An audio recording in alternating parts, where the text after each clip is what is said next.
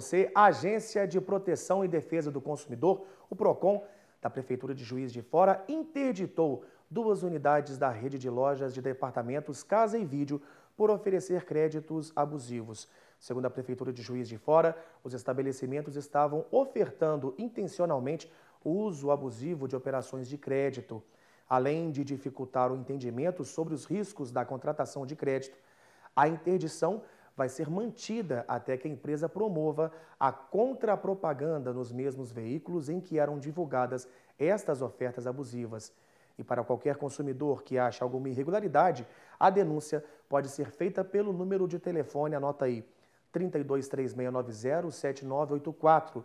Eu vou repetir, 32 3690 7984 ou no site Prefeitura Ágil.